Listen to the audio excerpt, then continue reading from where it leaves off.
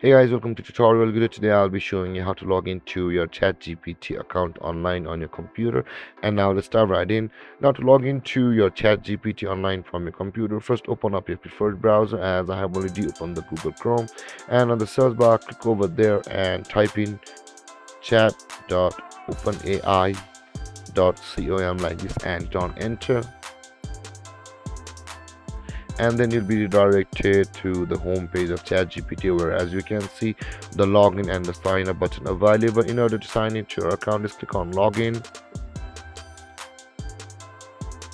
And now after landing over here which is the sign in page of uh, the chat gpt you can see there is the place to enter your email address with which you have signed up for chat gpt or you can just simply continue with your google or your microsoft accounts.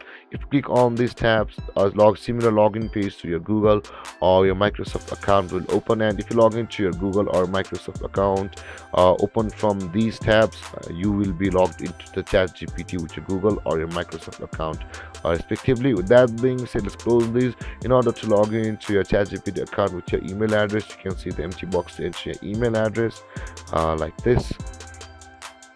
After entering your email address, you'll be first required to verify that you're not a robot. To do that, simply click on this empty box and a verification picture will appear. Let's select all the pictures with both and verify that we are a human and can I can see much more and here's the one let's verify us and but before we proceed guys do make sure to like subscribe and hit that bell icon because it gives a lot of motivation and support to my channel.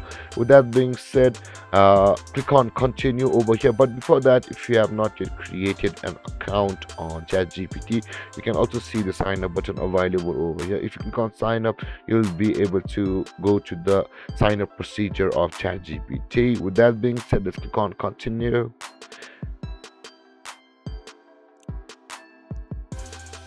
and after you click on continue you'll be directed over here.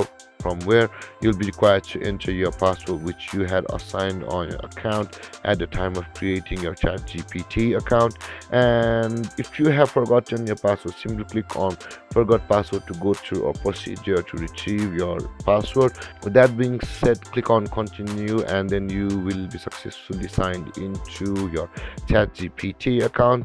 And then guys this is how you log into your chat gpt account.